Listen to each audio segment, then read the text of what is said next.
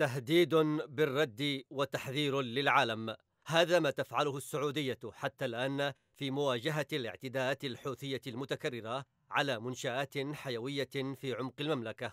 حيث قال ولي العهد محمد بن سلمان لصحيفة الشرق الأوسط إن العمليات العسكرية ستتواصل ضد الحوثي لأن بلاده لن تقبل بوجود ميليشيات على حدودها. لكن خيارات الرد السعودي التي لم تتضح بعد اكتفت بغارات محدودة على مواقع للحوثي في صنعاء حيث كثفت مقاتلات سعودية غاراتها على قاعدة الديلمي وكلية الطيران ومعسكر الصيانة. وهو ما جعل خبراء عسكريين يشككون في جدوى مثل هذه الغارات التي كعادة سابقاتها لم تنجح في تدمير قدرات الحوثي العسكرية بشكل كامل.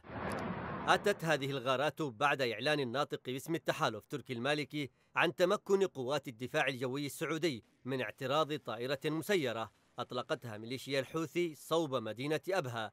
في الوقت الذي قالت فيه الميليشيا بأنها نجحت في إصابة أهداف في مطاري جازان وأبها. تأتي التهديدات الأخيرة على مدينة أبها السعودية بعد يومين من استهداف مطار أبها الدولي وبعد شهر من الهجوم على محطتي ضخ نفط سعوديتين. بالتزامن مع العمليات ضد ناقلات نفط في الخليج العربي والتي تتهم كل من واشنطن والرياض إيران بالوقوف خلفها. الضربات الجوية المتقطعة على صنعاء ليست حلا مفيدا للرياض بنظر مراقبين فهناك مواجهات حقيقية بين الحوثي والجيش في الضالع والبيضاء وحجة وصعدة وهي الأولى بالدعم الحقيقي إذا كانت السعودية تبحث عن حل أسرع لهزيمة الحوثي لكن السؤال هل أصلا تريد السعودية ذلك الحل؟